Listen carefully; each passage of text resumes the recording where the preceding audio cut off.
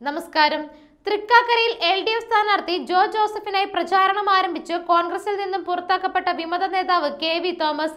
തൃക്കാക്കരയിലേത് കാഴ്ചപ്പാടുകൾ തമ്മിലുള്ള ഏറ്റുമുട്ടലാണെന്ന് കെ വി തോമസ് പറഞ്ഞു.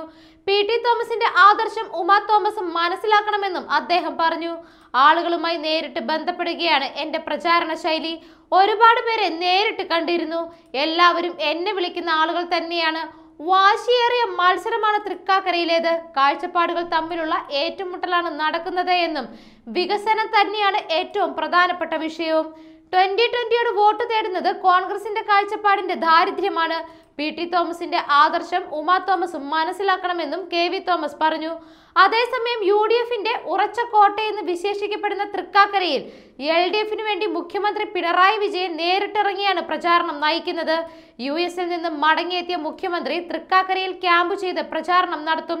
കേരളയിൽ അടക്കമുള്ള വികസന പ്രവർത്തനങ്ങൾ ഉയർത്തിക്കാട്ടിയാകും മുഖ്യമന്ത്രി പ്രചാരണം നടത്തുക.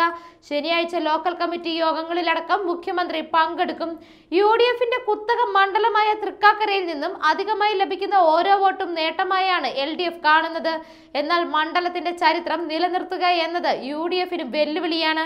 തിരഞ്ഞെടുപ്പിൽ പരാജയപ്പെട്ടാൽ സിൽവർ ലൈൻ പദ്ധതിക്കെതിരെ നടത്തുന്ന യു ഡി എഫിന്റെ പ്രതിഷേധം പരാജയമാണെന്ന് വിലയിരുത്തപ്പെടും. പ്രചാരണ ചുമതലയുള്ള അറുപത് L D F M L എമാരും മണ്ഡലത്തിൽ തുടരും. സിൽവർ ലൈൻ പദ്ധതിയെക്കുറിച്ചുള്ള വിലയിരുത്തലാകും തൃക്കാക്കര ഉപതെരഞ്ഞെടുപ്പ് എന്നാണ് യു ഡി എഫിന്റെ പ്രചരണം. ഇടത് സ്ഥാനാർത്ഥി ജോ ജോസഫ് സഭയുടെ സ്ഥാനാർത്ഥിയാണെന്നാണ് കോൺഗ്രസ് തുടക്കത്തിൽ ഉയർത്തിയ ആരോപണം ഗുണകരമാകുമെന്നാണ് എൽ ഡി എഫ് വിലയിരുത്തുന്നതും.